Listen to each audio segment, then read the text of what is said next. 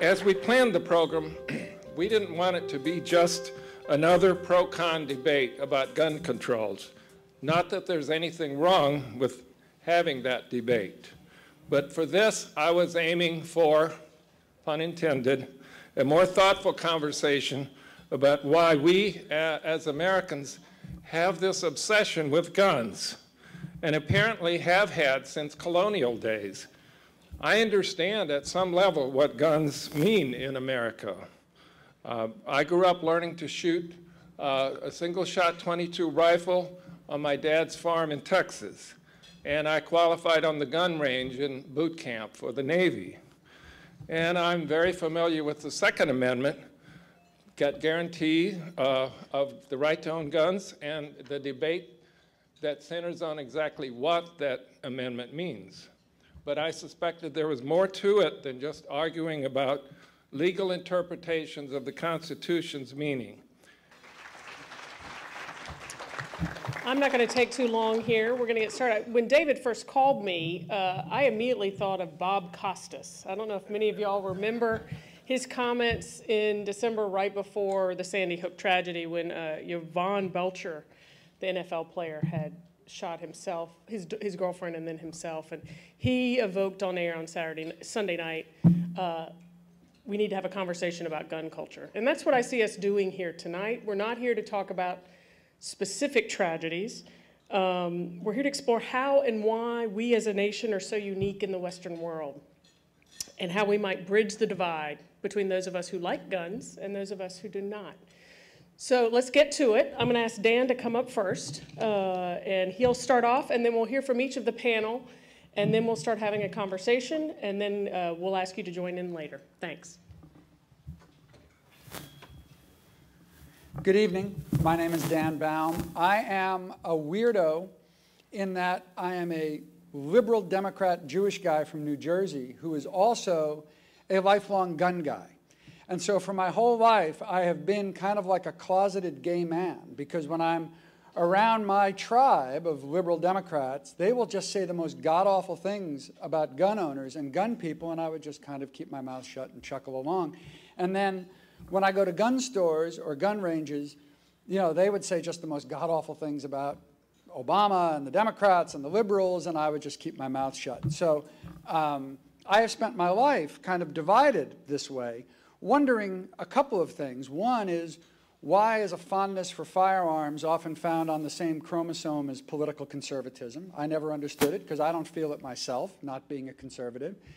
And also, what is it about firearms that I like so much, that my fellow gun guys like so much? Why do they move us who like guns so deeply? I mean, it's not like golfers are as passionate about golf clubs as we gun guys are about guns. And so I've wondered, what is that? And right after President Obama was elected the first time, I decided I'm going to go find out. And I got in my car and I drove 15,000 miles around the United States determined just to talk to gun people, just to listen, because it seemed to me that the Democrats and the, the gun control people, on, one, on the one hand, were making a lot of assumptions about gun owners that I knew were not true. At least they were not true for me. And then the NRA on the other side was making a lot of assumptions about gun owners that I didn't think was true, at least not for me. You got to remember there's 100 million gun owners in America, and there's only 4 million members of the NRA. So even accounting for gun owners who support the NRA without actually paying dues, we're still talking about a minority. So it seemed to me that the one thing that nobody was doing was actually listening to gun owners and spending time with them and asking, why are firearms important to you? How do they fit into your life? Why are we so passionate about these things? Now, I realized if I got in my car and started going around to places like Kentucky and Montana and Wyoming and asking people about their gun lives, they were going to look at me and freeze me out because I look like a middle-aged Jewish man from New Jersey. So I held my nose and I joined the NRA to get a nice little blue and gold NRA cap and I put it on my head and I realized, well, now I look like a middle-aged Jewish man from New Jersey wearing an NRA cap and that wasn't going to work. So I realized nothing says gun guy like a gun So I got a concealed carry permit, um, which was easy thanks to y'all here in Florida, which started the concealed carry revolution in 1987. And I wore a gun everywhere I went, wore a gun for a year and a half. Um, in part to um, endear myself to the people I was talking to. I wore a cool old Colt revolver that you can't get a holster for anymore, so I'd always say, you know, I'm looking for a holster for this old Colt. And suddenly I was one of them, and, um, uh, but also um, it got me into the gun guy head, and I can tell you uh, from experience, I don't know how many of you carry, um, when you wear a gun, the world looks completely different than when you're not wearing a gun. And that was very educational to me. Now, a lot of the attraction to firearms I could have guessed at before I left. I mean, I knew they're fun. If you like them, they're just a lot of fun. And there's a kind of a zen to shooting, and it's, it's, it's a fun thing to do. I knew they were mechanically beautiful. Um, the guns I own are mostly old, so I knew that guns, there's a lot of history involved in guns, and guns are associated with the most dramatic moments in our history, so I knew that was a part of it. I know there's a lot of family heritage to guns. They last forever, so they get handed down. So I knew that, but there were a couple of things that I didn't know that really made an impression on me, and I'd like to share those with you because I think they point us perhaps to um, some solutions, actually. Um, the first that I wasn't really prepared for was to own firearms is for many gun guys. When I say gun guys, I mean men and women, although 90% of the people who own guns and shoot guns are men. So gun, I'll use gun guys as shorthand. But for, for gun guys, owning a firearm, there's a lot of self-esteem in it. And when I say that, a lot of people um, misinterpret that. They make penis jokes and whatnot, and that's not what I'm talking about. And, and, or they say, oh yeah, you own a gun so you can, you can blow somebody away. And in fact, it's really the opposite, and it's a subtle thing, and I, and I really want you to hear this. To own firearms and to um, teach people how to use them, perhaps to carry them, to hunt, to shoot, to become good with them, takes a tremendous amount of discipline, and it takes a tremendous amount of thought and skill. And gun guys are proud of that. They're proud of it the way racing car drivers are. I mean, they're using these incredibly dangerous things and they're living alongside them and they're, nobody around them is getting hurt. Maybe they're teaching children to use them. And that means something to them. And it turns out that if you look at the industry figures, the bulge of the gun guy demographic, by no means the whole thing, but kind of the centerpiece of the gun guy demographic, is middle-aged white men who did not finish college. And that is a demographic that has been beaten up in this country in the last 30 years. These are guys who, in many cases, really don't have much else that, they, that makes them feel good. And, but owning guns does. And another thing that makes them feel good, for which I was not prepared, is there is a patriotic element to, to owning firearms.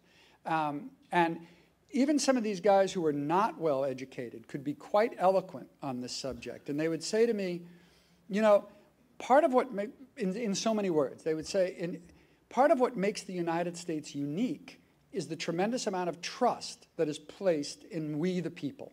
And we who are journalists understand this because we all are amazed at how much freedom we have as journalists to, to publish, to demand information from our government, to speak, to broadcast. Um, we are trusted in this country. And part of what we are trusted with in this country is owning firearms. This really came to me strongly when I was at a machine gun shoot in the Arizona desert.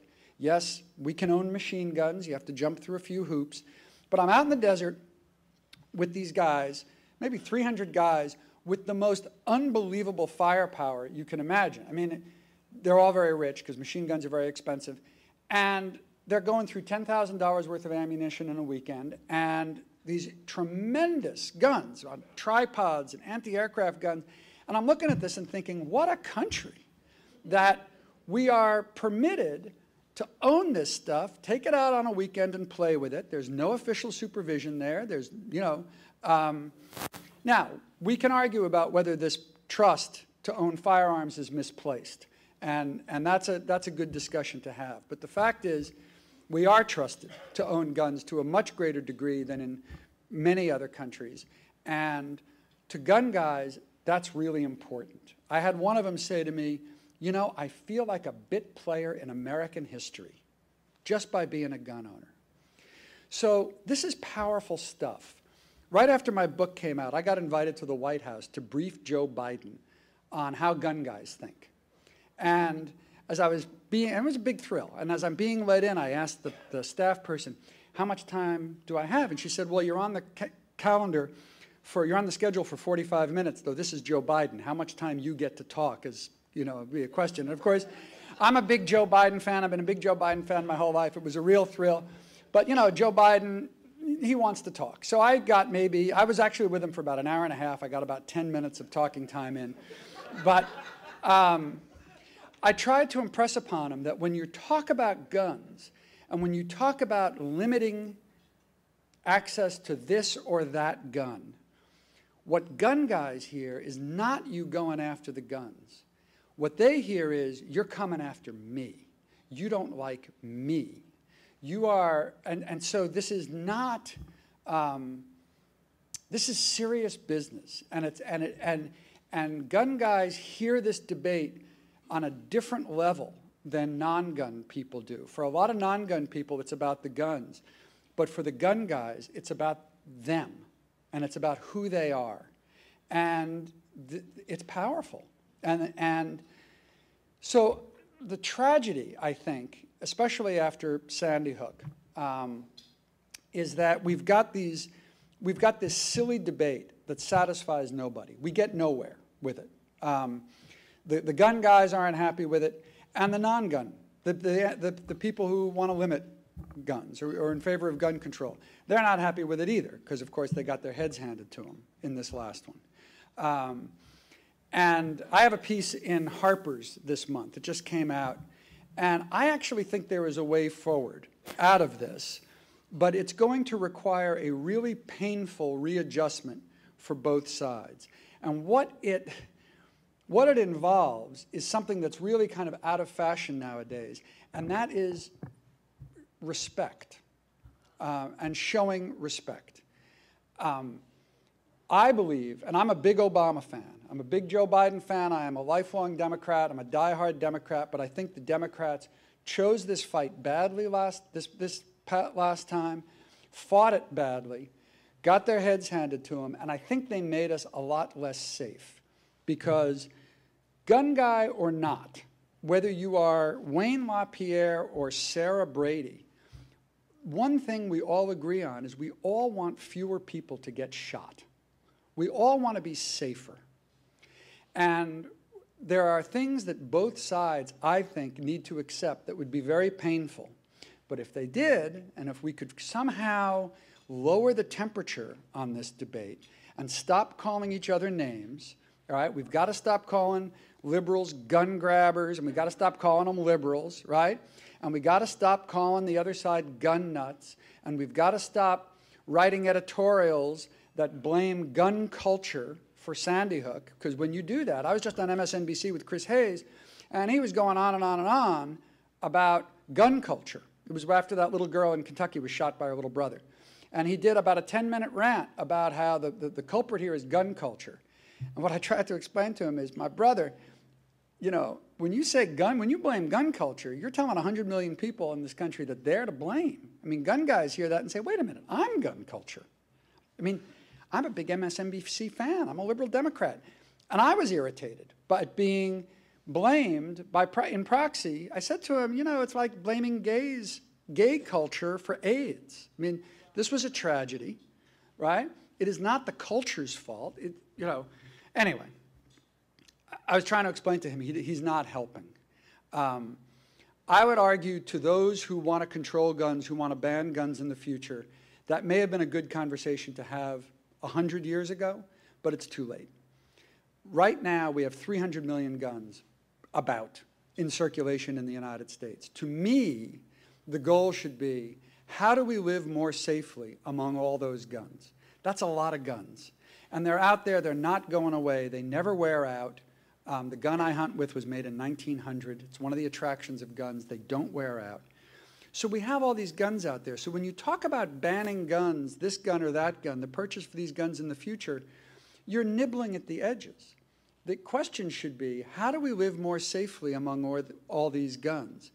And I think the answer is, we enlist the gun guys. We make friends with the gun guys. And when I say this to people who don't like guns, the, the hair on the back of their neck stands up. But look, the gun guys own the guns. They are the custodians of our national civilian arsenal. They decide who gets their hands on guns.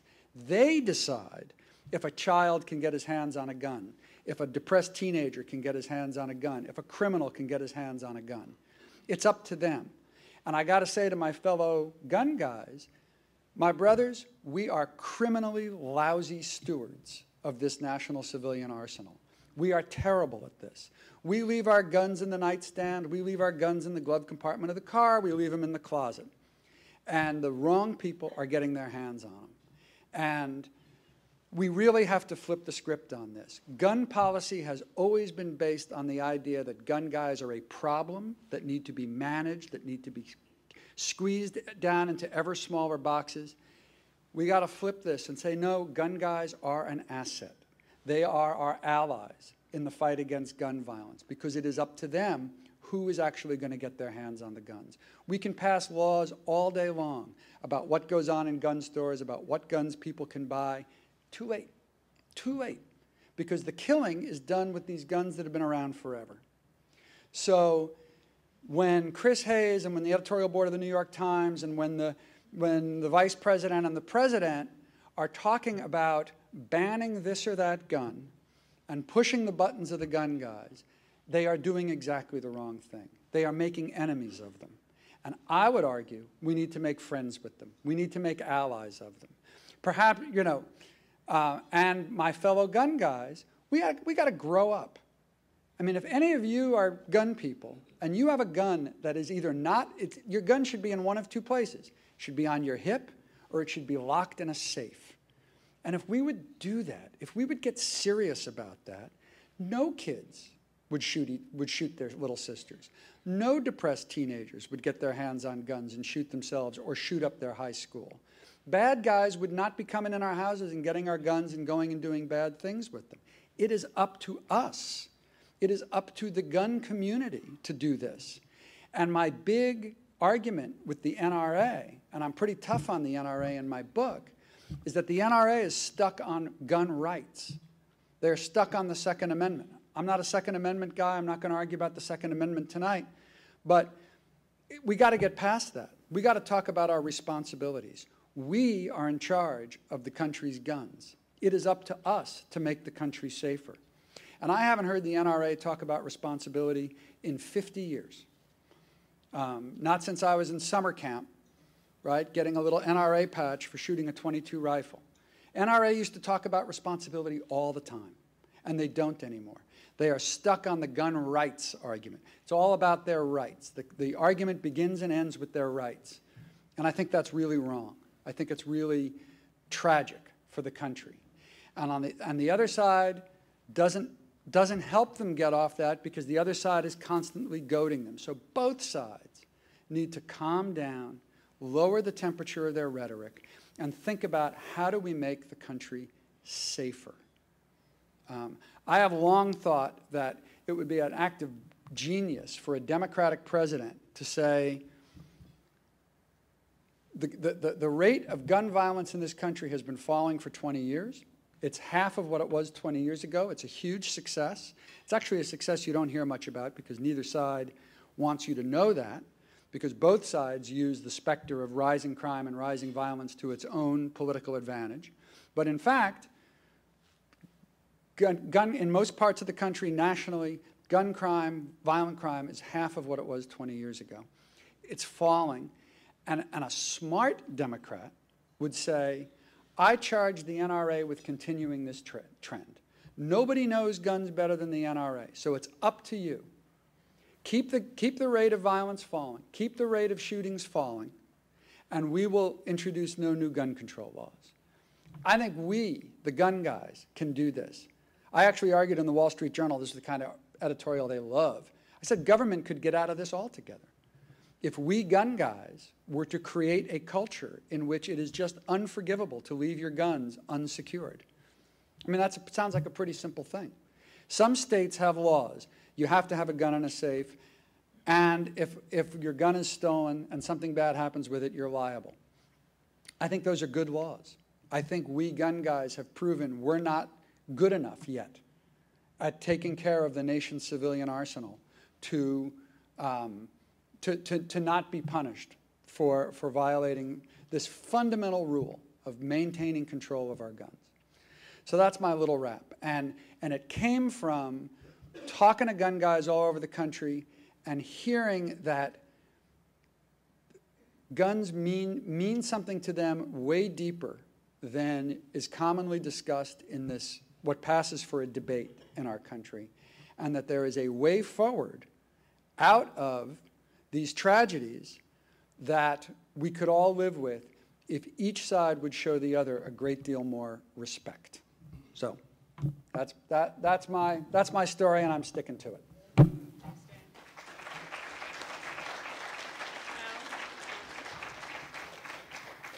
All right, well, hi, everybody. I'm Al Tompkins from the Poynter Institute. I'm a journalist. Don't hold that against me. Um, before I, uh, I get started, I want to say uh, thank you to a couple of people. The first person I want to say thank you to is my rabbi out here, uh, my gun rabbi, Ted uh, Easterbrook from Ted's Gun Supply, uh, who about, I don't know, when's that been, about six months ago, I called him out of the blue and said, I'd like to do something about training journalists to cover guns more smartly. And I thought he was going to, uh, first of all, he didn't believe me. I think he thought it was a setup. But he invited me to come over to his shop. Throw your hand up just for a second, Ted. This guy knows guns, and he's not paying me to do this. I haven't seen him in months. Uh, but this guy knows guns, and my suggestion, my strong suggestion to you is if you want to know something about guns, I mean really know something about guns, go see him. Uh, take one of his classes, uh, whether you ever intend to buy one or not. Uh, that would make you a lot smarter because this guy knows his stuff. Um, not long after, um, not long after the uh, Sandy Hook shootings, he called me and he said, "You know what I'd like to do? I'd like to, for anybody that wants to sell a gun, I'd like to handle the permitting for the. I'll, I'll handle the transaction. I'll do a background check. Heck with all this flea market gun sale stuff. I'll handle it." Um, and he couldn't get any press for it. I thought that was a really good story, and he couldn't get any journalist involved, uh, interested in the story. Um, to my knowledge, nobody's still done the story. Here's a guy who had a solution, a no-cost, low-cost solution to what everybody was trying to legislate around, and he couldn't get any attention for it. Um, so shout out to Ted and to uh, guys like him who are really good gun owners and really good guys and really smart about guns, no matter how you feel about guns. Uh, the second thing I wanted to say before I start uh, spouting off is I recognize that I have the sheriff over here who really uh, does face guns. He and his guys face guns. And so while it's safe for a guy like me to sit in my office and spout off about all the things I think I know about guns, the fact of the matter is he actually faces them and his guys actually face them and his gals actually face them. And I'd like to thank him in front of everybody uh, for keeping us uh, uh, as safe as they do every day. So thank you for what you guys do. Let's keep things in perspective. How would you like to walk up on some car in the middle of the night not knowing what's in there? I mean, just think about it. To walk, as you walk to your car tonight, imagine just for a second, you're him doing that and you don't know what's sitting inside. Uh, I have played that game with my head several times. I don't want to do it, but I'm, uh, but I'm in awe of guys like him who do. Uh, what I wanted to talk about is uh, the difference between gun facts and gun truths. Remember, I'm a journalist uh, and I teach journalists. Uh, and I got on this jag a couple of years ago about complaining that journalists don't do a very good job covering the gun issue. They don't do a very good job covering the gun control issue, and they don't do a very good job speaking for guys like Ted, uh, who are responsible gun owners. And so I really wanted to do something about training journalists to do a better job. Uh, I need to throw my cards on the table. I am a gun owner. It is in my safe. Um, and uh, I've been a gun owner my whole life. Uh, I grew up in rural Kentucky in a place where they had 410 shotguns in our gym class. So uh, we had guns in school, and you had to shoot them in order to pass gym class. So that was uh, the way I grew up. Uh, Teddy, Ro- by the way, it was great Teddy Roosevelt background. Uh, Teddy Roosevelt suggested in 1902 that every public school ought to have a shooting range so that we become better shots and can better defend the country. Uh, and I'm, uh, I'm always interested in the fact that through the years, through the centuries, actually, in the United States, we have repeatedly uh, addressed issues of guns and never very successfully. Most of you probably don't know that the machine gun law that uh, you just heard about actually uh, came up after the St. Valentine's Day Massacre in Chicago. Uh, Franklin Roosevelt uh, wanted to do something about machine gun deaths. They couldn't uh, outlaw them because they felt it was a Second Amendment issue. So instead, they slapped an enormous tax on them. Um, and uh, so the fact of the matter is, is this has come up over and over and over again. The first real address about gun rights, um, first of all, the, the, state of Kentucky and later the state of uh, Louisiana, I think it was, uh, tried to outlaw handguns, and of course they couldn't. Um, and that was in the 1800s. Uh, in 1897, uh, I wrote it down, 1896, you might remember a decision called Plessy versus Ferguson, a United States Supreme Court case, Plessy versus Ferguson was actually a, a, a, what we think of now as sort of a civil rights issue. It had to do with property ownership. But the court specifically mentioned gun ownerships. I'm speaking in front of a judge here. Uh, judge, uh, um, uh, stop me if I get, uh, I do not want to practice law without a license here, but um, uh, they specifically mentioned in Plessy versus Ferguson gun ownership as being an example of what all people in the United States should be able to own, including um, uh, black Americans at that time who still didn't have their full civil rights. But even the Supreme Court in the late 1800s decided that gun rights was, in fact, part of property rights. So this has been a repeat kind of uh, theme throughout the last centuries in the United States. Let me walk through a couple of things that I hope will uh, be interesting to you. These are some of the things I've talked with journalists about as we've done some training for them. Um, the fact of the matter is, is that this is a Gallup poll uh, data over time, starting in 1960 to the left and uh, uh, 2012 to the right. And uh, you'll be interested, aren't you, to find that gun ownership is fairly steady as a percentage of households. Do you have a gun in your home has been the consistent question they've asked. Uh, and pretty consistently, the number has been uh, somewhere between 50 and 43 percent, sometimes lower, sometimes higher. Uh, the number that you see, the little spike that you see there, um, was around the time that the assault weapons, the first assault weapons ban was passed, um, and there was a spike upwards, as Ted would tell you, every time there's some uh, conversation about, uh, uh, about banning something or another, there's always a big increase in sales in both ammo and weapons. Um, so as you can see, there have been highs and there have been lows, but uh, the, the number really doesn't fluctuate that enough. Let me just say that there are reasons that you can't believe the stats I just gave you. You should always be skeptical of these kinds of stats.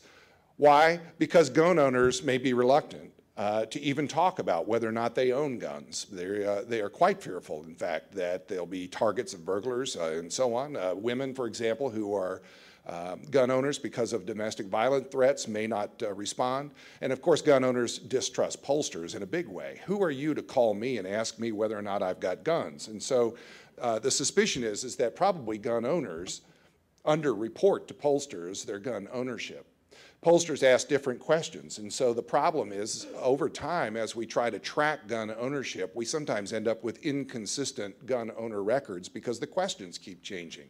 For example, look at this chart. This is four different surveys about gun ownership in the United States. A general social survey, Gallup is the, is the purple color, Pew Research uh, is the uh, green one, and then ABC News and Washington Post started polling on this in 1997.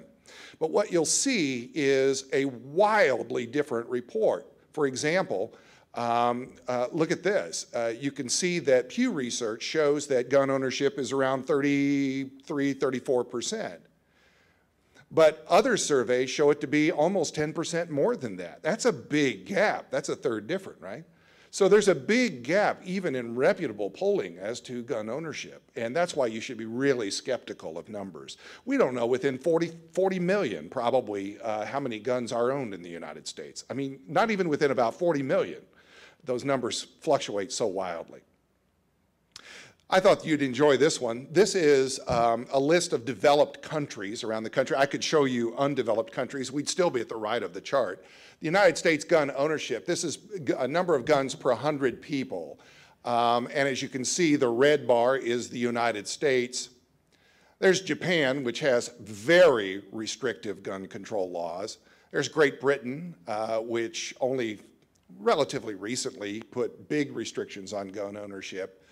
Uh, and then uh, over here, you see a couple of anomalies. Uh, Finland, um, uh, as an example, is uh, a pretty big gun ownership country. A lot of machine guns in Finland, and I've never talked to any of my Finnish students to figure out why that is. Uh, their gun violence rate isn't all that high, but their gun ownership rate is, but it's still around half of the United States. Who owns guns? I thought you'd be interested in this. This is Pew in the Press. Uh, first of all, men, of course, uh, uh, more than women, although almost a third of women uh, say that they are in households with guns. Uh, this is uh, by far the biggest percentage of gun owners are men. who are 50 to 64, a fairly widely represented demographic in this audience. In fact, you're a pretty good snapshot of gun owners. Um, white more than black, uh, about two to one. Does that surprise you? No? Okay. Uh, and some college, um, Dan called them, uh, did you call them college dropouts? Is that what you call them? I think, it, oh, didn't finish college. That's different, I suppose different than college dropout. Um, so some college, uh, although college grads are still 40% uh, of college grads, 40% of gun owners are college grads. Um, the South obviously is um, overrepresented compared to other parts. It shouldn't surprise you. Rural, more than urban. Think about that number, about 55% rural.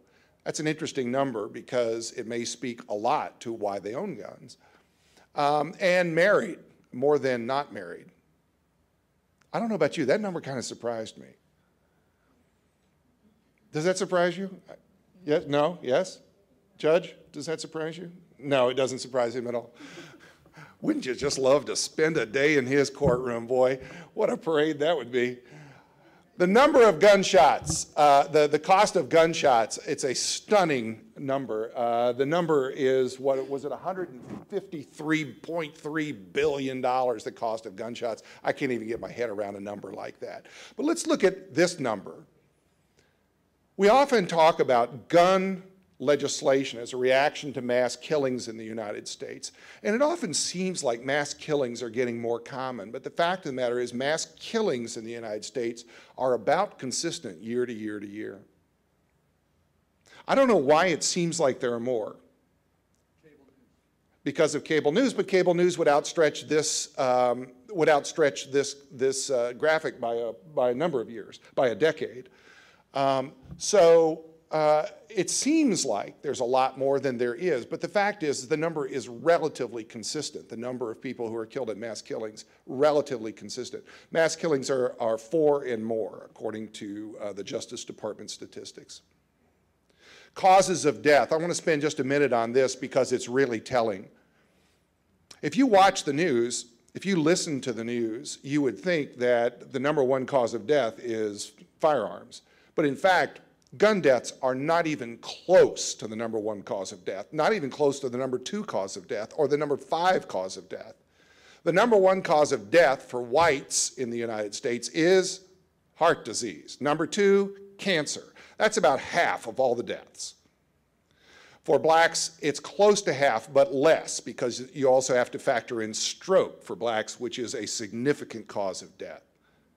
But once you start looking at these two charts, these charts are based on Centers for Disease Control fatality reports. If you want to do some light reading, uh, you, can, uh, you can go look at CDC um, uh, data and pull this up. But unintentional injuries, Alzheimer's and pneumonia and so on, suicide, suicide for whites kills far more people than homicide, far more. We should be holding a new a conference on suicide. Let me tell you, we live in the elder suicide capital of America, Pinellas County. Uh, over on blacks, uh, you see that number. Uh, what's different there is that um, unintentional injuries are 4.2%, which is a, um, a pretty high number, and then HIV creeps in. And then you have a lot of others. Just so we can be complete, you can see American Indian, Asians, Hispanics. In no case is gun deaths anywhere approaching the number one cause or the number five cause or the number six cause of death. Not even close. Not even close. And I want you to keep this in mind as you watch the news and as you listen to all the conversations in Congress about gun control because they're solving a problem that's a relatively small problem, statistically speaking. Now, again, I'm not the sheriff. I'm not the one walking up on this. It's easy for me to throw numbers up and minimize the problem. But statistically speaking, it's a relatively small number compared to these other causes of death. In raw numbers, you can see them. Influenza claims far more lives than guns in the United States. CDC's vital statistics, I just wanted you to see this. Assault by homicide is the 18th leading cause of death. And that's not necessarily all guns. Um, you can see that it um, compares then to suicide, which is among whites the 10th leading cause of death and among blacks the 16th leading cause of death. Since we had the tornadoes in Oklahoma, I thought you'd like to see the odds of dying of tornado, from tornadoes and other storms is 1 in 2.7 million. The odds of dying from dog bites is 1 in 11 million. The odds of dying from gunshots is 1 in 514,000. The odds of dying from heart disease is 1 in 467 in the United States. Just trying to put a little context on this conversation. National Rifle Association, let's talk politics just for a second since you brought up the NRA. Um, why is it that NRA gets beat up so much? It ends itself in the news a lot. Well, part of it is, is because it spends so much. I mean, the NRA spends an amazing amount of money on lobbying, but it's nowhere near the biggest lobby. Uh, these are the actual contributions from NRA in the last election cycle. These are the biggest recipients from rural states uh, that have large gun ownership. I thought it'd be fun to pull up uh, members of Congress from the state of Florida to see which Congress people from Florida have gotten the most money from the NRA. Uh, this money, for example, are the biggest recipients uh, from Congress, from NRA. But if we go to Florida, and by the way, this is from opensecrets.org, which takes its information from the Federal Election Commission. OpenSecrets.org will show you the leading recipients of NRA, PAC, uh, NRA contributions and PACs, but even that is relatively modest compared to the biggest recipients. So our Florida Congress people um, uh, don't receive nearly as much as the biggest recipients of NRA money. Uh, in terms of who they give money to, um, uh, people on the Agriculture Commission Appropriations and Armed Services are the main recipients of NRA PAC money. So let's take a quick look at whether or not this has any influence or uh, any possible influence over how congressmen vote. In the April Senate vote on background checks, for example, the people who received contributions and voted no had received $527,000 in contributions. People who voted yes also received $68,000 in contributions. On the other hand, how much did they receive from the anti-gunners, from the, from the pro-gun control? Don't you love the vernacular we use? From the pro-gun control, how much did they give? Well, that's how much the NRA gave. that's how much the anti-gunners gave. Um, anti-gunners uh, give very, very little money uh, to political candidates. Um, partly because they don't have a lobby to filter it through the way NRA does, but uh, it's very little money compared to the pro-gunners. There was a Harvard study that found states with the most gun laws have the fewest gun deaths, which seems interesting. And there are many in the gun control world who say, see, what we need are more gun control. Uh, because if we have gun control, then we'll have fewer deaths. So let's look at this map just for a second. The light colors are the states that have the least amount of gun deaths. The darker colors are the states that have the most amount of gun deaths. It would seem to argue in favor of gun control. The problem is that you can't just look at a, a, a, data map like that and draw that kind of a conclusion. Why?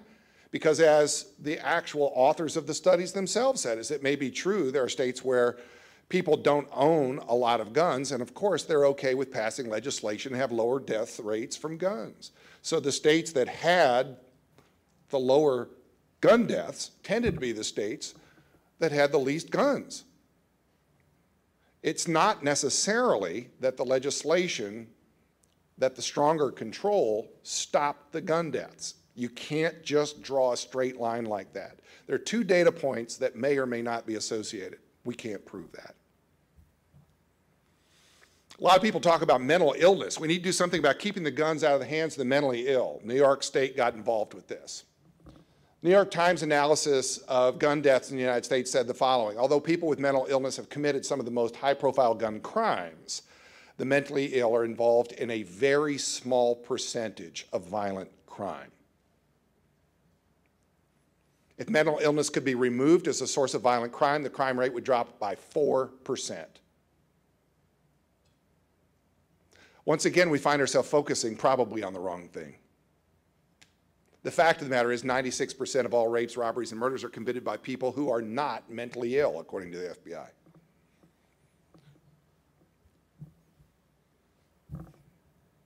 They're just temporarily insane, maybe. You know, they're just mad. They've got access to a gun. They, you know.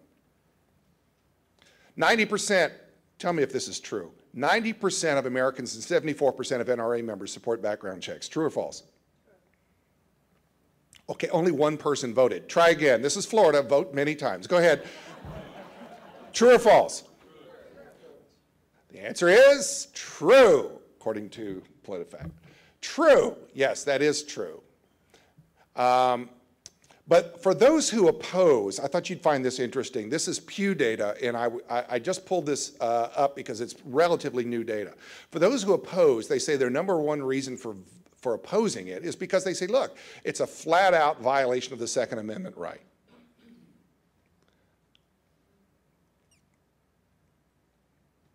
They also say that there is um, a privacy issue from the federal government.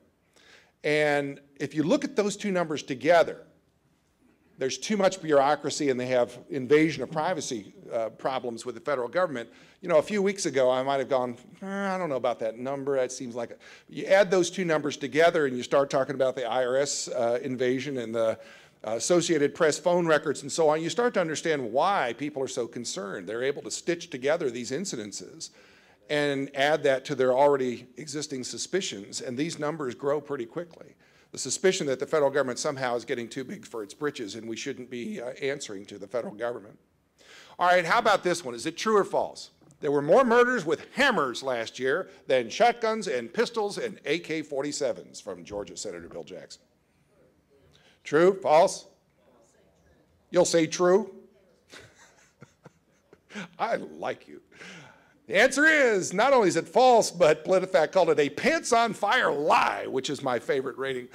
Um, well, let's delve into the FBI and see what we can figure out here. There were 6,200 people killed with pistols, 300 or so killed with rifles, another 300 killed with shotguns, 496 with blunt objects, clubs, hammers, stones, and electric guitars. Sheriff, I don't know, you run into this a lot, I guess, right? Um, I don't know, why does it break it out by electric guitars? I don't understand. Um, but anyway, it turns out it's a pants on fire lie.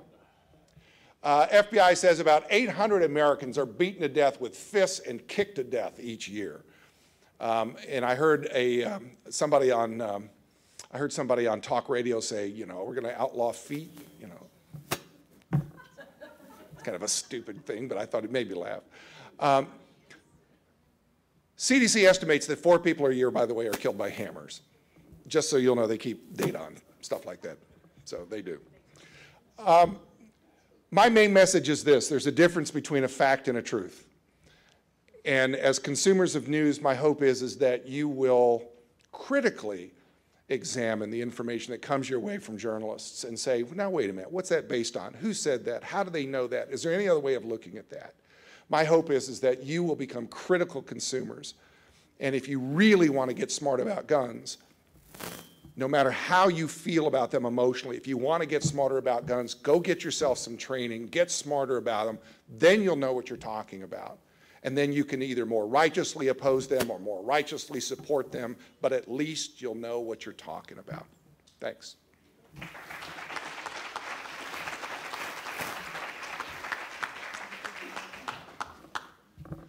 Good evening, and uh, thank you for allowing me to spend a few minutes and giving my views from a law enforcement perspective on this issue. Interesting about you know stereotypes and, and here, and I, I do agree with Dan, and I have a lot of communication with a lot of people on a daily basis on this issue. And uh, but I do agree with him that for those of the gun guys uh, who are, and it's consistent with the statistics uh, that you just shared is they do think it's about them. It's not about the guns. It's about, uh, and they're concerned about, uh, especially with background checks and those kinds of things is they think that we're coming after them as opposed to the gun issue itself. The gun issue is kind of a collateral thing to the overall issue and a distrust issue, and, and I hear that a lot.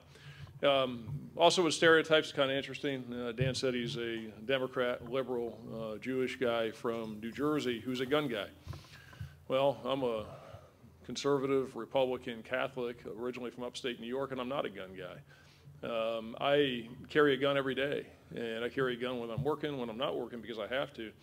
Um, I started in law enforcement 30 years ago, and I took a break in the middle of it to go to law school. I was out practicing, and during that entire period of time, I never touched a gun. Um, when I get done with my law enforcement career, we'll see. Uh, probably won't, uh, but it's so it's interesting how there's you know different stereotypes that are there. Uh, but I carry one because I have to, and th that's part of the job. I think uh, on this issue, uh, it's about uh, reasonableness, I, although I'm not a gun guy per se, uh, and the only gun I have is one. It's the one I carry. I don't have 15 sitting at home, but I think that's, again, probably the stereotype. Uh, I do support the Second Amendment, and from the standpoint is I support all constitutional protections and all constitutional rights.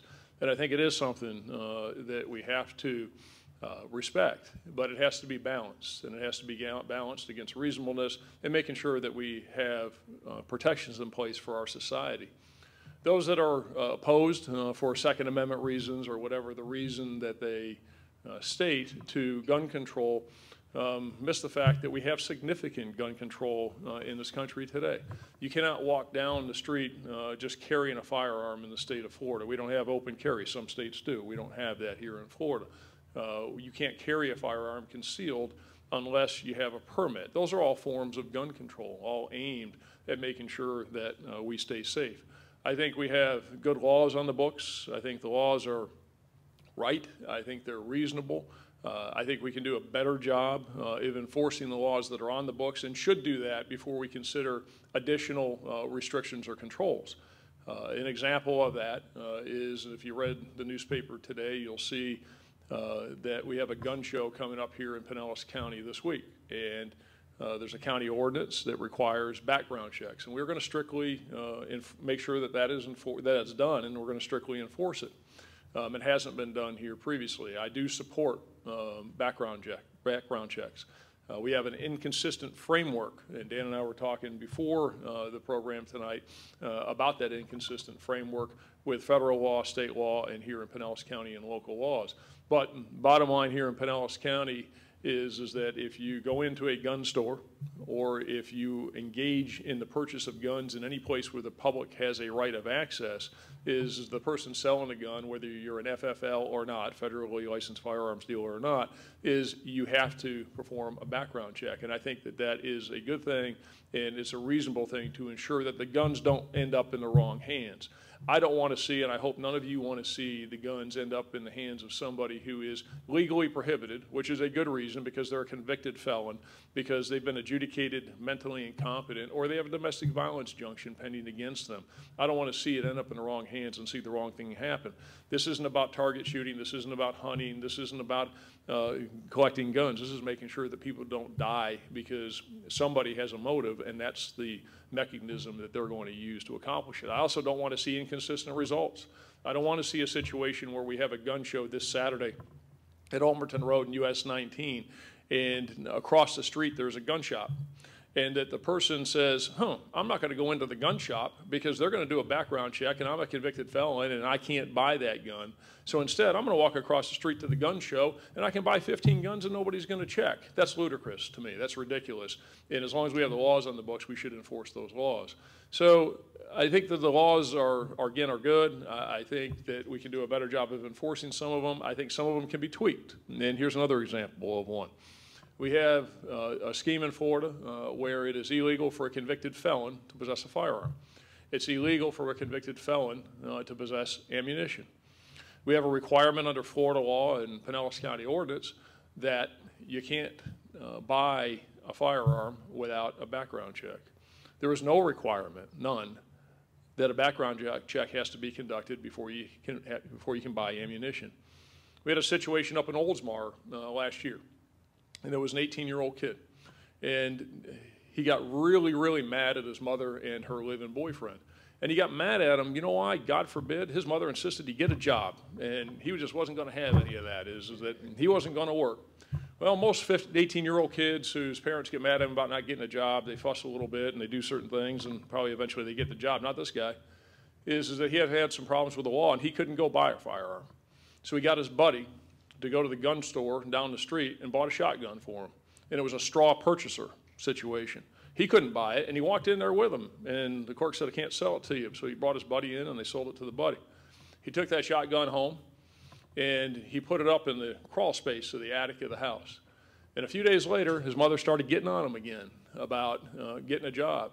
And he was so mad at his mother, he didn't want to get a job when he went down to the gun store. And this time, the same gun store, we couldn't buy the shotgun, and he's got his buddy to buy it. He bought the ammunition himself.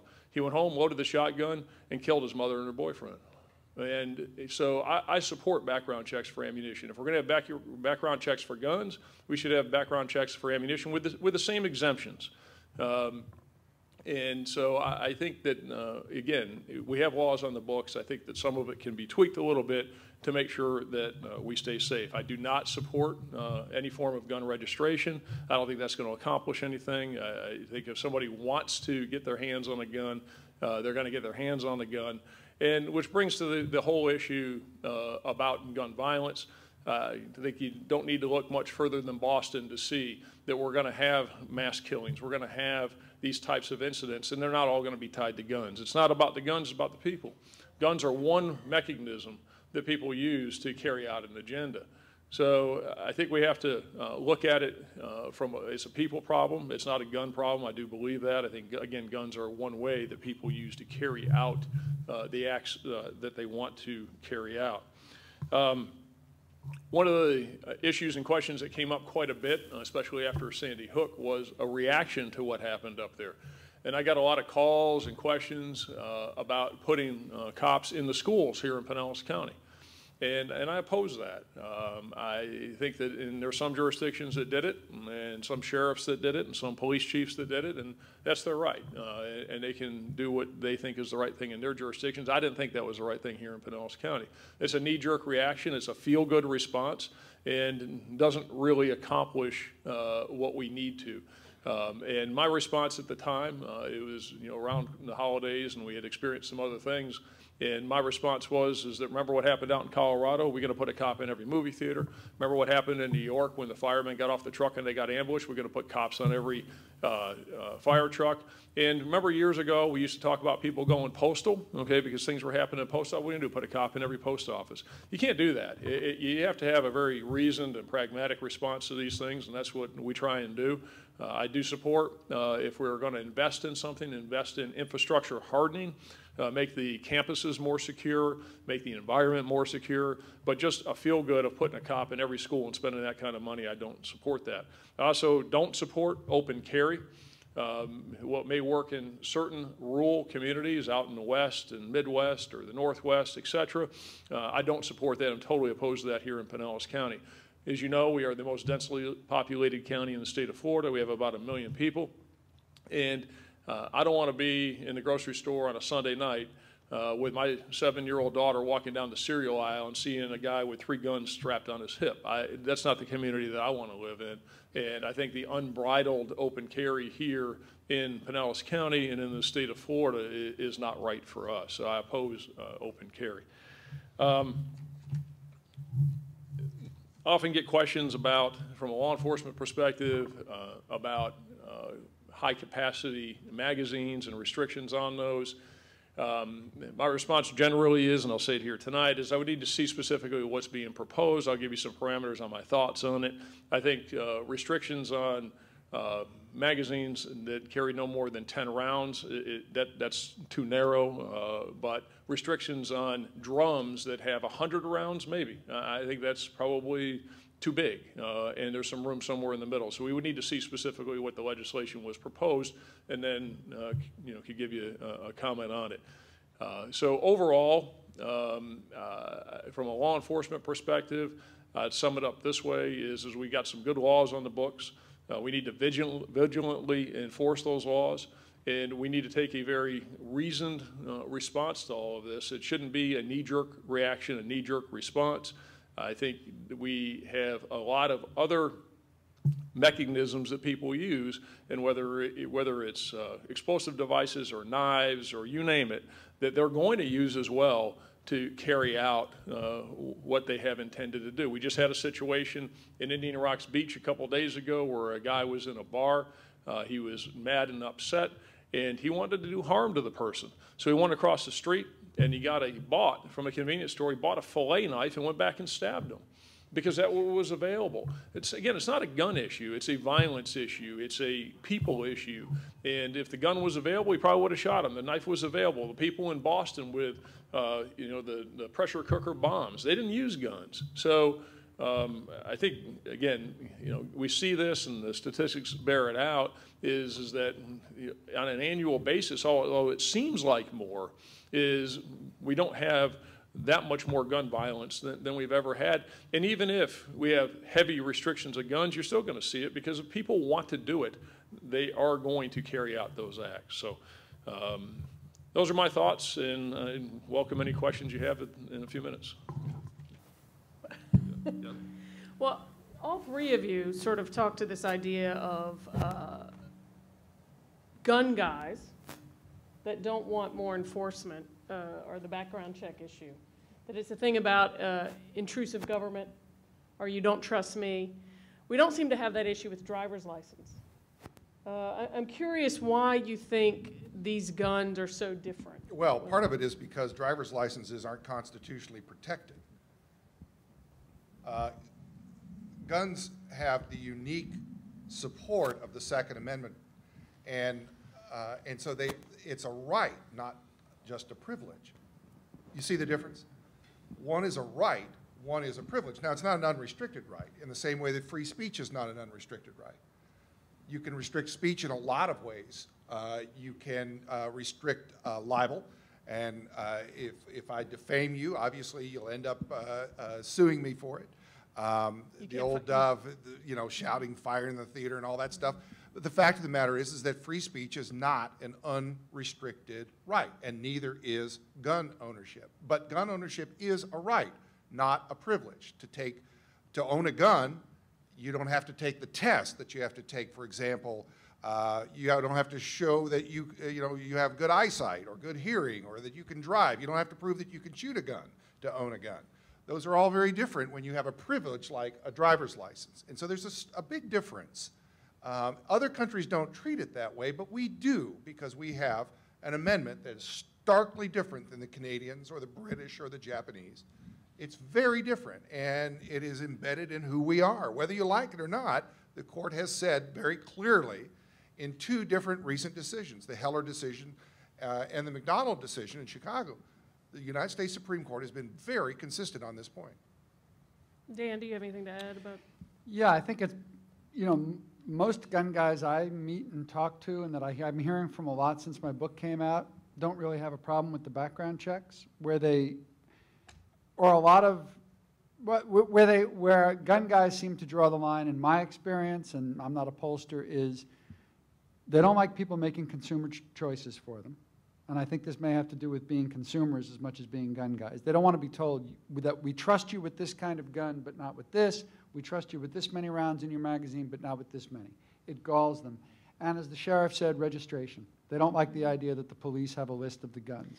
But aside from that, I haven't heard much objection to the background check thing, and I think the background check thing failed in the Senate um, because by the time it came to be voted on, it was, it, was, it was tied together in the public mind with the assault rifle ban and the magazine restrictions.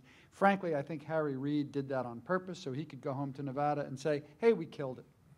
And, um, you know, um, and it's too bad because I think the background checks, but I don't think, I don't, I'm not sure it would have made a huge contr- contribution to public safety, but it would have made people feel good and it probably would have done some good.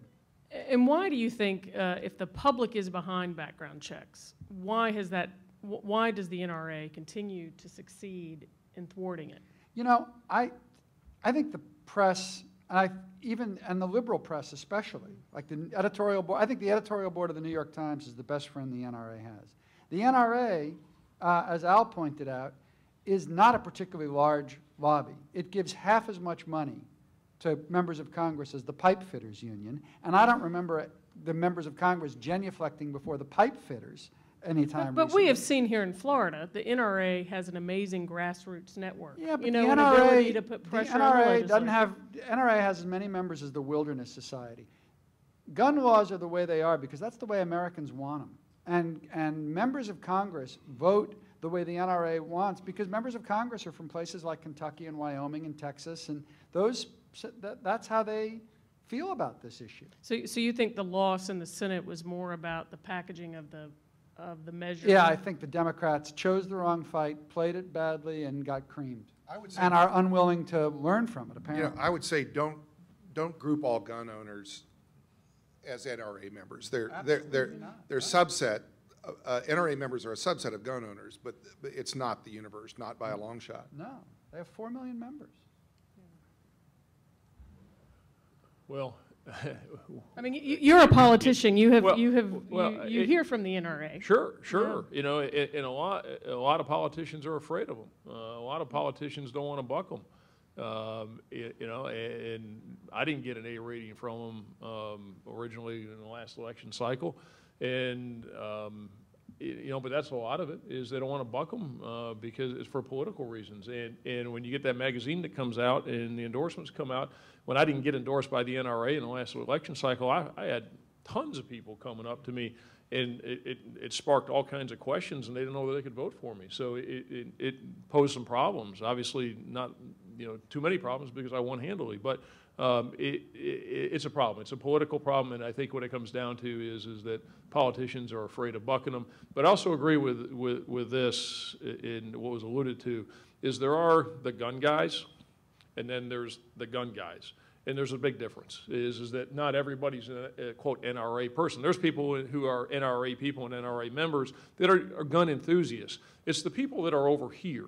It's those people who I was alluding to, who I have contact with, who either Facebook me or whatever on social media and get inundated with, that it's not really about the guns. The guns are a symbol of their problem with the federal government, their problem with government in general.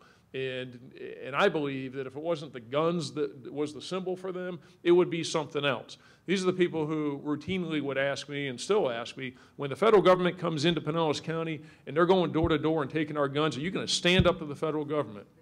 You know, and, and to me, to me, frankly, that's a ridiculous question because it's not going to happen. And they say, well, it's not, it's not a hypothetical because of what happened in New Orleans. This isn't New Orleans, and it, it, that was an anomaly situation over there. And uh, as I said many times, no, I'm not going to put Pinellas County deputy sheriffs on the peak of the Howard Franklin Bridge and engage in a firefight with the army as they're coming across the bridge. That's stupid. So. Um, uh, but, but that's the kind, that's the type of questions we get. And, and that, those are the people that are over here. They're not the gun guys who are gun enthusiasts, enthusiasts who like to shoot and hunt and even may have large gun collections. That's a great thing. But it's, it's those that are over here, in my view. You know, Dan, in your book, you, you went and met the NRA, the, the, the two educators at the NRA, I think you said.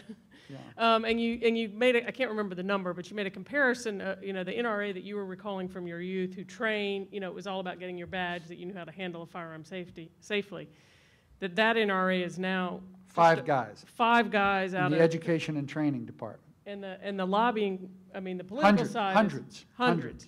Um, uh, I- think almost everyone would want the NRA to do more of what these five guys do. I mean, Well, maybe we would, maybe we wouldn't. I mean, um, this is told in the book, but you the NRA has a program called Eddie Eagle that they offer to schools. And it um, teaches children what to do if they find a firearm. The, this, this guy I met from the NRA in the Education and Training Program, he went to an NEA, National Education Association conference, and set up a booth and was offering Eddie Eagle to schools. Now, Eddie Eagle is not a perfect program. It's not particularly sophisticated. It teaches kids to do four things if they find a gun. Stop, don't touch, leave the area, tell an adult, okay? Um, the, the, the teachers at this conference wouldn't listen to the NRA, actually wanted them to leave. And I have spoken to teachers, friends of mine who are teachers, and I said, how do you feel about this? How do you feel about teaching in school what to do if a child finds a gun? And they say, oh, I don't want that. I don't want kids getting all excited about guns. I don't want to talk about guns in my classroom and get kids all excited about guns. And it sounds to me like fundamentalist Christians saying, I don't want to teach sex ed in school because it's going to get kids all excited about sex. Um, the country is full of guns. The country is saturated in guns. That's already happened. Um, so to me, it seems to make sense to teach children what you do if you come across a gun. Kids go to kids to, to their friends' houses, they go to their uncle's house, and they find guns, in part because we gun guys are such lousy custodians of our guns. We keep them lying around uh, unprotected. So I think it makes sense. Um, but there is a, um, there is on the part of the anti-gun community a desire to kind of pretend that that is not true. And instead of confronting the problem that exists, there is this tendency to focus on what guns people might be able to buy in the future. And not only don't I think that that really makes us safer, but I think it makes us less safe because it alienates gun guys when we should be trying to bring them in. Well, there's one school of thought that this whole conversation is going to be mute in 10 to 15 to 20 years. When, Yeah, when, when 3D printers are uh, inexpensive and people will be able to manufacture their Actually, own this, guns. this whole, this whole debate is going to be moot in about 10 or 20 years because of the statistics that Al showed. And when I talk about this to gun guys, they go ballistic. But the fact is, young people have very little interest in firearms. Young people want to be urban and digital, and guns are neither. And if you look at the statistics, people in their 20s are a tiny percentage of the gun buying public. There will always be people in America who want to own guns, but you ask young people, 20 somethings, about guns, they're not interested. They're frankly not interested in automobiles either. And the, and the automobile industry is really bent out of shape about this and trying to figure out how to get young people interested in cars. But the gun industry, I mean, this whole gun debate may in 25 years look as archaic as arguing about temperance or whether women should be allowed to vote because gun culture is going away. I, want to get one question into the sheriff before we open this up. F- Florida's seen an extraordinary explosion in the number of people getting concealed weapons permits. Uh, who has a concealed weapons permit now in Florida is uh, secret. You and I can't go find out if our neighbor has a concealed weapon permit. I guess I'm wondering how that may have changed. What, what, what has that changed for policing? And what do you, what's the fallout, do you think, as someone who's, I mean, you can find out who has a concealed weapon permit, but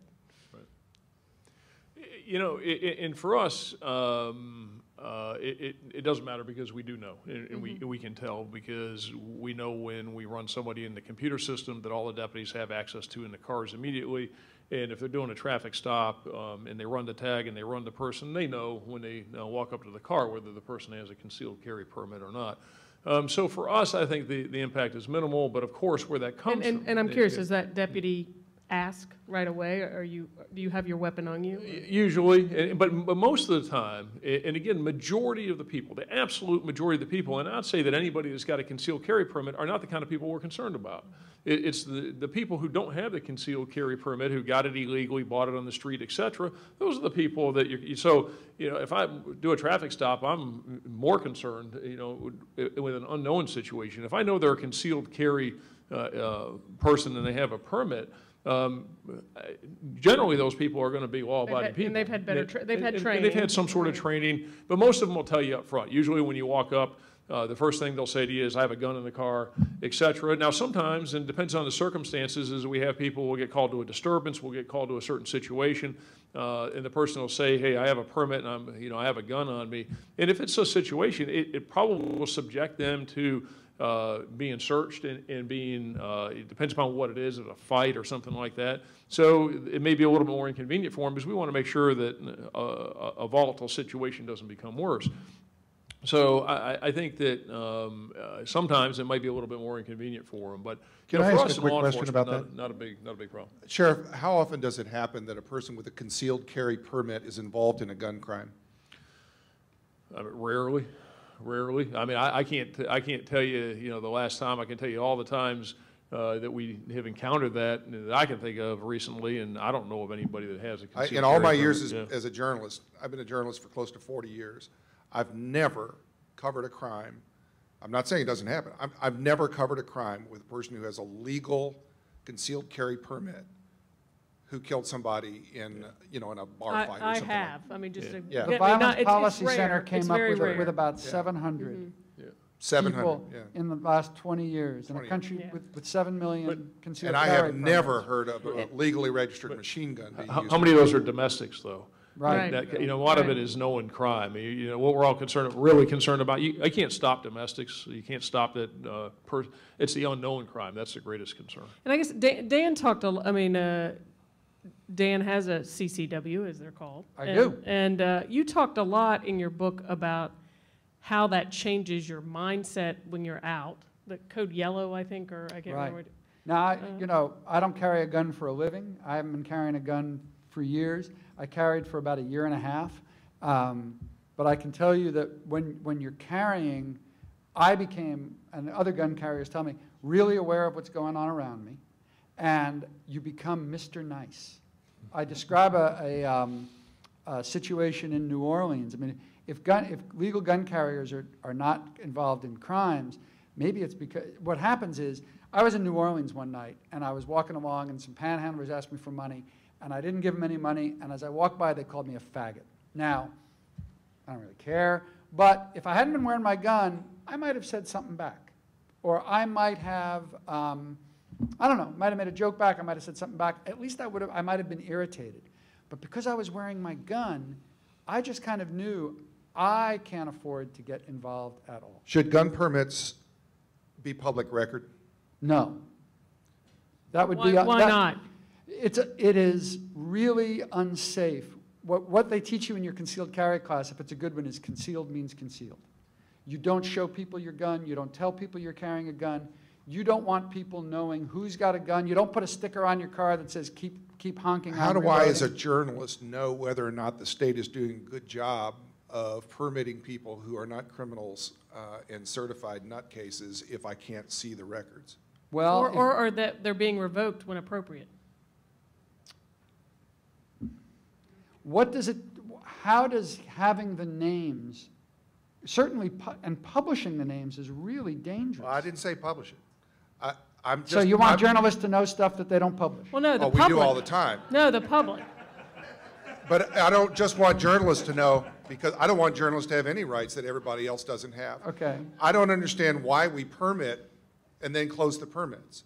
Because it is Either to permit it, unsafe. make it open record, or don't permit it at all, but to permit it and only make the government the only keeper and the only arbiter uh-huh. doesn't make any sense to me, any more than it makes sense to And in have a some way- and in driver's some ways license you could- or a doctor's license or any other kind of Or- license And does it not closed. play into the gun guy mentality of, of why is the government the only one that knows things? To me, though, letting people know who's, letting the public know who has guns and who doesn't is an invitation to burglary, is an invitation to robbery. Putting a sign on your house that says, this house protected by Smith and Wesson is stupid, and because that tells people there's a gun in there. I, I sympathize with that, but as a matter of policy, it seems to me that if we, in Florida of all places where we have the strongest open records laws in the country, as a matter of policy, it seems to me to be difficult to put together that we have a database and then close it so that nobody can examine whether or not we're doing what the database is supposed to do. So are mental health records. Well, mental health records are protected uh, in a number of ways, not the least of which are federal laws that, uh, that uh, uh, Medical records. medical records. Uh, But even, even those have leaks, as you know. The issue with medical, with, with mental health records is this argument that if we require doctors to uh, disclose that somebody's on antidepressants or something, that they'll just not go get treatment. Well, let's ask an expert. Sheriff, do you think it would make us safer to ha, to? Well, That's well, not- that's not Dan- Dan's, question. Dan's That's not not my aware, question. Dan's not aware of this, but they, they were open until about three years ago. when it was They published they by a pub- newspaper and in reaction, No, Uh, uh, here in Florida, was it published? yeah, uh, and uh, the same thing happened in Tennessee, same thing's going to happen in New York, where the uh, news journal stupidly reported uh, people's gun ownership in the newspaper. Um, I- You know, I think that as a matter, I mean, as, I support open records, and I am uncomfortable having open, having public records that are not open unless there is a very good reason. Um, But I am not supporting the open publishing and reporting of those records any more than I think there's any reason to publish all of your property records or, or. or Would any you forbid the publication? I would not forbid them. You can't because it's prior restraint. Okay. It's against the Constitution. Okay. That's the Um, First Let's, Amendment. let's get the sheriff's thoughts on this, and then we're going to open it to uh, y'all's questions. Yeah, I was hoping you were going to pass me over on that one. As a journalist, I can't, I sorry. know, I, I, I- I know. You know, it, it- it's a tough one for me because I do have access to the information. Um, I- And I'll say the, and I've asked a lot of people this question who are adamantly opposed to it. And it, generally comes down to that I don't want anybody knowing uh, because I don't want anybody coming to get my gun. Um, and the question uh, asked, do, do I think that we are would any less safe because it's not public, or we would be more safe uh, if it was public? No, I don't think so. I don't think that that has a bearing on it whatsoever. Um, I, I think there's an interesting interplay there between broad public records and access. Um, and it also comes back to that issue of, uh, in I think Al, what you're talking about there a little bit is and journalists certainly have a role uh, and a check and balance role as far as the government's concerned, but I'm hearing a little bit of distrust of the government. And maybe what we're hearing lately with some of the stuff out of Washington, there should be. Um, but, eh, you know, so it's a, it's a tough one. I don't think it affects public safety because we have access to it. If we didn't have access to it, it'd be a different story. Assu- Assuming that uh, you have honest people in law enforcement. Well, I mean, right, that, I mean, that, right. that, that's and- about, you know, that's Sure. always what democracy is a little bit about. is that the- Absolutely. The citizenry can check their government, so. Sure, no, and I understand that, and, you know, and, and certainly, uh, nobody's perfect and no system's perfect. And so there, it's good to have checks and But balances. we have but- disagreement on the panel. So uh, this gentleman uh, raised his hand. If you could, uh, introduce yourself when- before you ask your question. My, my question is this. All right, I look at it from a standpoint of, I became very emotionally involved when I saw the little great grandkids get, I mean, I got grandkids. They get mowed down by someone that is mentally in- uh, incompetent. The last one before that was mentally incompetent. So, so my problem is not with gun control, it's with people control. And it's, I want to protect my children, okay, and my grandchildren as a United States citizen, I have a right to also expect the government to serve and protect me. A background check wouldn't have prevented that, though. Agreed. Now, going back to the, to the, to the government and the system that we have, this is not about NRA, this is not about Republicans or Democrats, this is not about anything of that nature, although it was made to be. I'm tired of it. So what I want to say is this. this is really a simple solution, and it's one I would like to, to propose, is that there's nothing wrong with having a license like getting a car driving, driving license. Doesn't mean you own a gun, but you're competent enough to operate a car, you're competent enough to operate a gun.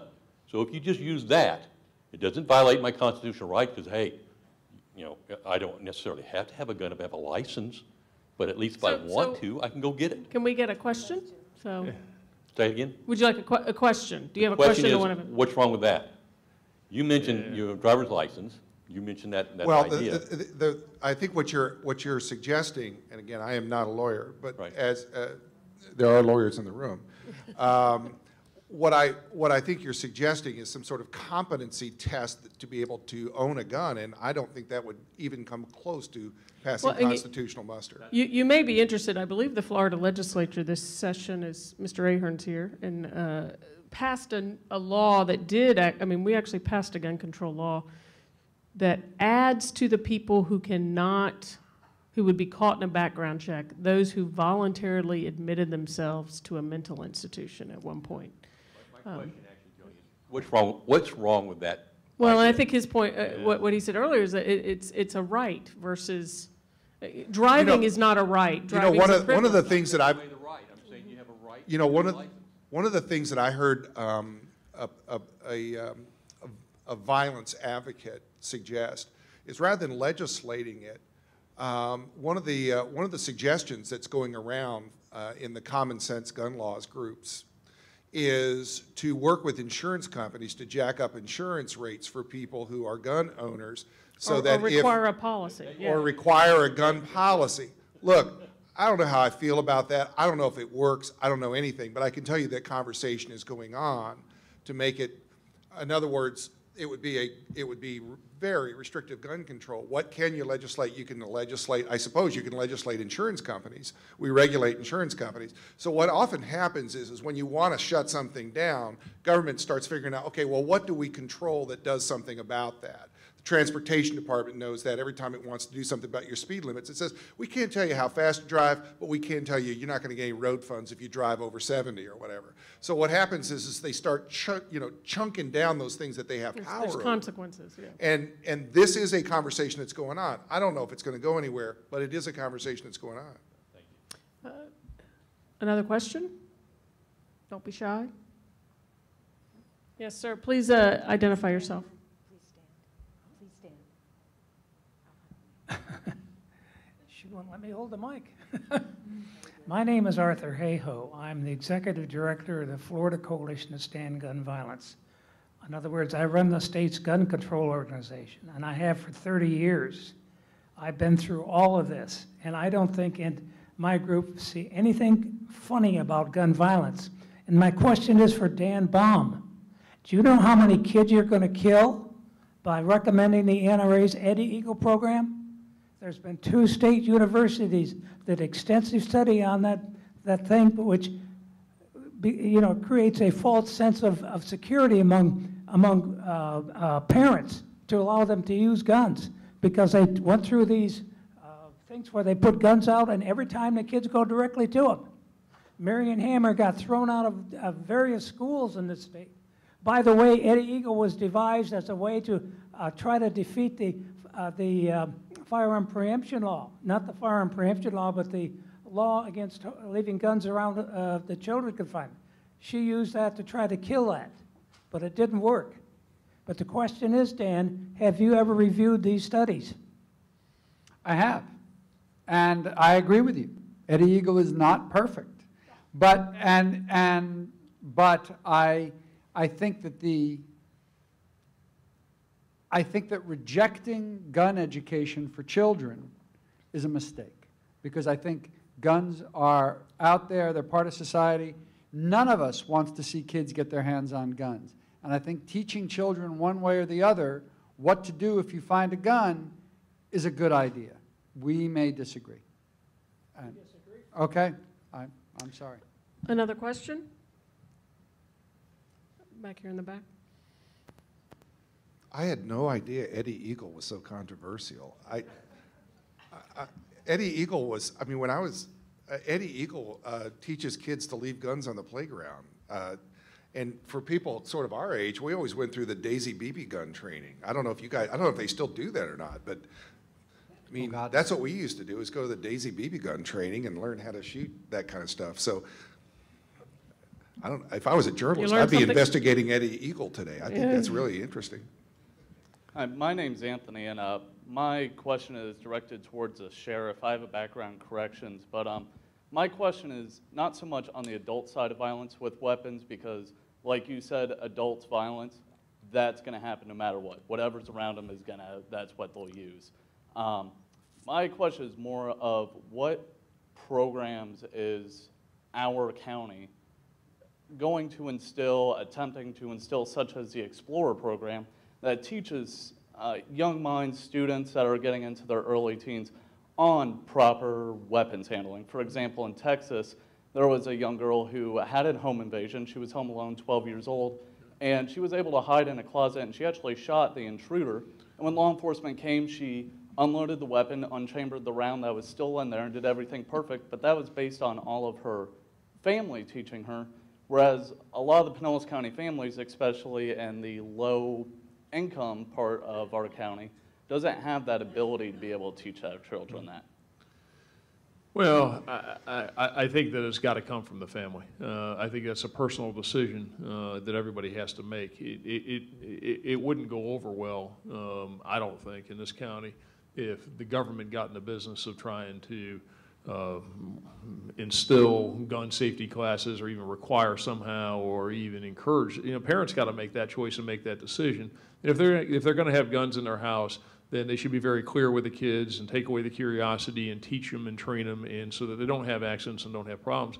But, but I think that's a personal decision uh, that an individual has to make as it relates to their kids and how they want to handle it. And hopefully they do it in a responsible way. Um, but I don't, I don't think that's something the government should get involved in uh, as far as that, that decision with the kids. And there's ways, I mean, if parents want to have uh, gun safety classes for their kids, uh, and if they really want to do it, they, they can get, they, they can find them, they're out there. You know, I think that what you say, though, is so important. Um, my son, who's 15 now, and he was about 13, um, he started playing, and he loves playing video games. He's a great kid, he's a great student, all that. But he plays, he plays video games that are first-person shooting games. And he really loves them, and I see why. They're a lot of fun. I mean, I, they are in a crazy way. They're very interesting. Um, but I said, you know what? If you're going to play that, then we're going to go do something about that. We're going to go to a gun range, and I want you to actually shoot a real gun, and I want you to see the velocity and the magnitude and the damage, and I want you to see what really happens, because you don't regenerate, you know, once you shoot somebody. Um, and so we did that. We went down to Night Sporting Goods and, uh, uh, and, and, and we went several times. And we hired a guy to train him uh, to, uh, to shoot two or three different kinds of guns, and he really liked it, and he never really wanted to go back. We shot two or three times. He's never asked me again to go back, but he was extraordinarily curious before we went. I think that's I think it's an important thing that we do as parents. If you're going to allow your kids to play first-person shooting games, I think we owe it to them and owe it to our community, owe it to each other to make sure they understand what they're playing with. This gentleman right here.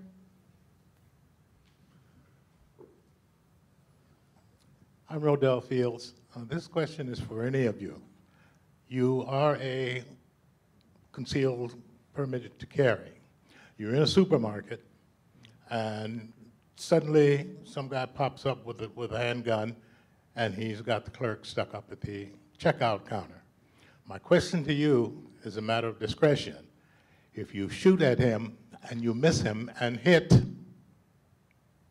a patron, what are your legal outcomes? You're in big trouble. You might be in big trouble if you shoot the robber and hit him. Right, right. Sheriff, Sheriff, Yeah, no, you can have problems there. It, comes down to negligence. I mean, it's, it, it depends upon how you acted. You're probably going to get sued over it, and it depends upon, you know, whether, uh, you, you know, once you took that action, you had, under the law, what's called a duty, and depends whether you breached that duty and whether you acted negligently. It depends upon how you did it what you did it. We get litigated in the civil courts, and most likely, you know, you're probably gonna, you're gonna have a problem. But, but it's a, it would be a civil case and it would be a negligent standard, and that's how it would be If I, announced. if I can just add something there.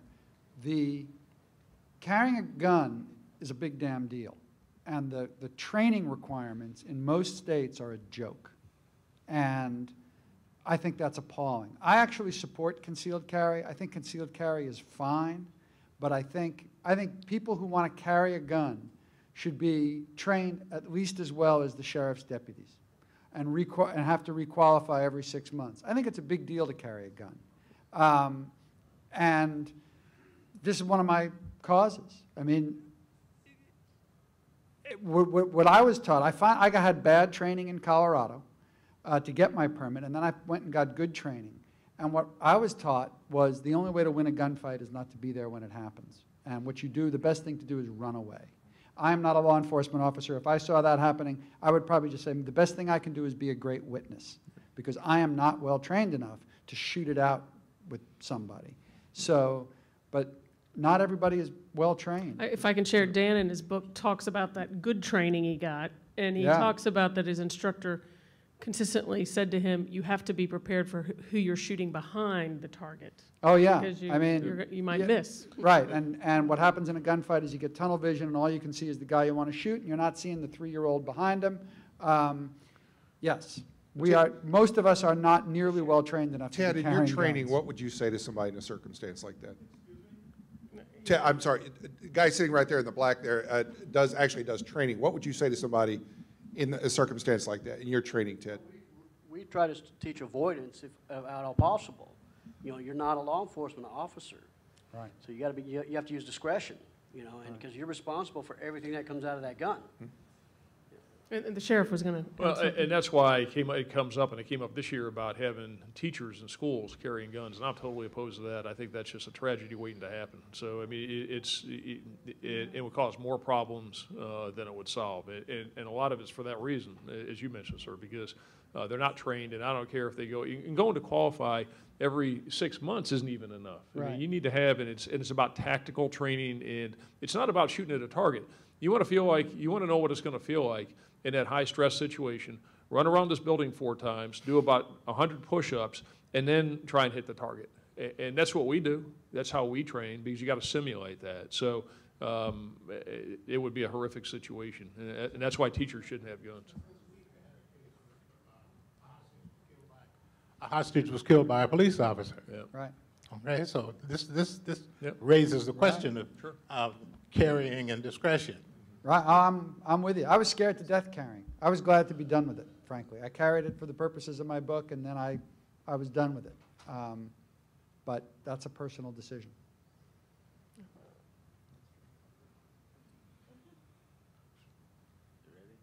Yeah. Tell us your name, sir. Yes, the- the U.S. was formed after the American Revolution, after the Articles of Confederation by the adoption of a constitution. That constitution did not get approved until the Bill of Rights was added, which included these amendments. Not only the Second Amendment, but also the First Amendment. They all stand as a, as a bulwark for our freedom. I don't think that we should be, I, I think that we should be extremely careful in tampering with anything that affects those basic amendments. Uh, The news today was that a member of the administration would invoke the Fifth Amendment in testifying before a congressional committee. I support that right to invoke that amendment if she so desires. And when you start to tinker with the in- individual amendments, I think we're headed for extreme difficulty. Thank you. The, the court has been very clear on this uh, over, over 100 years. Uh, The court has no appetite for doing something about watering down the Second Amendment. Get- get- Hi, my name's Barbara Stiers, and I'm here tonight because I know nothing about guns. And I have a question that sounds simplistic, but it seems to me that if you wanted to carry a gun legally, you would want it to protect yourself. And you're saying to, to Dell, if you try to protect someone, you're in a lot of trouble. What have I missed here? It changes your world to wear a gun. It makes you really careful. It makes you really vigilant. It makes you a little bit, I don't know, maybe, you know, you, you find yourself not sitting with your back to the door. You find yourself kind of walking into a room and kind of checking it out. Some people really like that. I kind of liked it at first, and I eventually burned out on it because it just, it was just too much all the time. You put the gun on and suddenly you're, they call it condition yellow. You're just, a, you're just super vigilant. Um, some people like it. What happens to you is like, it makes your whole life much more together. You're never leaving your sunglasses on a, on a, on a counter or leaving your credit card in a store because you're like, you really have your stuff together when you're wearing a gun. I, I would, I would like to think you could do that without the gun. I want to add um, the sheriff here. Ju- Just quickly, so we make sure we're not misconveying to you the situation. And the situation that I was really answering is more of this. So if somebody's in the store, and remember, it's, it's all about negligence, it's all about duty, and with the Florida Stand Your Ground law, it gives people certain rights, you don't have to retreat like you used to, et cetera. If, if somebody is, um, has a gun, you're pointing a gun at me, and you're a threat to me, and I shoot, and when I shoot, let's say the bullet goes over your shoulder and strikes the man behind you, that's a totally different situation than I'm in the serial R, I pull out the gun, here's where the threat is, but I shoot him over here. Okay, so it isn't, it, there's no automatics. It's going to be analyzed depending upon the facts. And did you use due care as a reasonable person would under those circumstances? my other would, would be as a sense of community and caring for our fellow citizens, you know, if someone was holding a gun on me, he had, you know, in the grocery store and shot, it seems to me that that's reasonable for But, other- but you hope he's a good shot. I can tell you, I can tell you that when the, when the shooting happened in Aurora, which happened about an hour away from me, my first thought was, I wish I had been there with my gun. I wish I had been in the theater and had my gun. I would have shot at him. I would have shot at him. And I think. In a just- dark theater Yeah, with a movie still going and people screaming everywhere. I think Right. that's a pretty risky shot. Well, it is, but the people who are, but that's a mass shooting situation. That's not a robbery. In a robbery, the guy might take the money and run. So, right? But if somebody's shooting, he's already announced he's trying to kill as many people as he can. To me, there's nothing worse than one person in a room full of unarmed people. That's why gun guys see um, gun-free zone stickers, right? The little sticker on the door with a picture of a gun with a slash through it. This is a gun-free zone. To gun guys, that is announcing, you want to kill a lot of people? Come here. Because you can be sure there will be no law-abiding person in here with a gun who can fight back. And so it's a different perspective. Some people are very comforted by, oh, this is a gun-free zone. I can be sure nobody will be, have a gun here. But the idea that somebody bent on mass murder is going to be dissuaded by a sticker on the door to gun guys seems delusional. I'm sorry, we have time for just one more question. Uh, Do you still, yeah, it's it, okay. More women. Oh, sorry. No, go ahead. Uh, um, I'll, my name is Glenn Gilzean, and I'll make it quick. But uh, we touched on, I think, three or four questions ago regarding low-income um, communities. Uh, I get, I'm, I'm fortunate that I have the chance to travel the state and work in uh, key communities like Miami-Dade, Duval, here. And, but when I turn on the news like WSVN down in Miami-Dade and you see something regarding gun violence, it's always in African American communities or low income minority communities. And I think that's something that we haven't touched on or we kind of, and you kind of danced around it. But how do we resolve that issue? Because ultimately, when I was on the school board, I've always said it was a tale of two school districts. You had the North County and you had the South County. And you, can, you can take that however you want to take that. But when we talked about some of the issues today regarding uh, guns and parents can take their children out and have that training, well, how does that work for someone in South County who has a family or a mom or dad who's not there, who's working multiple jobs, who can't do that? So how do we, We resolve haven't those issues? begun talking about class and race in this country. We, ha- I wrote a book about the drug war 20 years ago, and it's the same kind of thing. I mean, the idea that we can, the last group of Americans who are still killing each other in large numbers, are young African-American men, right? And the idea that we can, you know, we look at the totality of the lives that they live, and the idea that we're going to, that, that the fix is to pass gun laws, to me is whack. I mean, you know, we need to talk about, we need to talk about the lives these men live and why we have poor people and why, you know, why we still have institutional racism. I mean, and those are big, hard conversations to have. And so what we do instead is, is say, oh, let's criminalize the drugs they choose to use and let's criminalize the guns they choose to use and that'll fix it. I, I think it's, I think it's avoidance. I think this is one of those really interesting, um, really interesting things that um, I was on a, um, I was on a panel of maybe a couple of months ago, and uh, there was a guy there uh, who said, "Let me just." He was, he was, by the way, the person who financed the Heller decision uh, in D.C., the num, the the Opus um, Second Amendment uh, U.S. Supreme Court case, and he said, "Here's the thing," and I'm not advocating this, but I'm just telling you, he said if you want to do something about gun violence, decriminalize drugs. You know, my heart sank and I thought, oh my goodness, I don't know about this. Maybe the guy's just, maybe he's just provoking us. And he said, no, let me just say, he said, he said, the crime that we are talking about um, is drug crime. You take the profit out of drugs. He went back to prohibition. He was making the whole argument about take the profit out of the drugs, you take the, the violence out of the drug market, and so on. It's a provocative idea, just as, as prohibition and the repeal of prohibition was a provocative idea. I get it, it's provocative. It's not an easy conversation, but it's one that's worth talking about. Just to say, does this make any sense? Would it cause more problems? than it cures? I don't know those answers, and neither do you. What I would say is, if we're serious about finding a solution to gun violence, let's talk about what causes, as Dan says, let's talk about what causes the gun violence.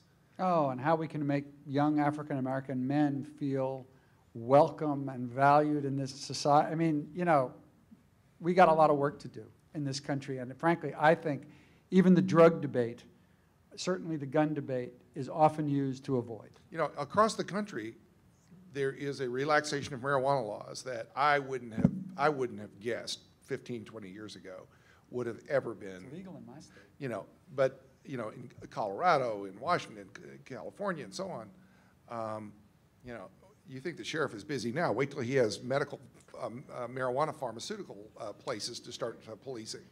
I mean, it's going to make it's going to make those bingo parlors look like nothing, man. Um, uh, but I mean, it's coming. cafes. It's coming. That conversation is coming. I don't know when it's coming, but it's coming. It's starting with marijuana and it's moving. You have anything to add? No, I mean, the only thing I would say, Glenn, is that a lot of the, not all, and not all, but disproportionately, a lot of, the, and one of the things that I don't think was said tonight, uh, there are no illegal guns. No guns are illegal. Guns are in people's hands who illegally possess them. And I think we see a lot, especially in the, in the lower socioeconomic areas, for reasons that you know, and, and there's a higher crime, for all these reasons that are hard discussions.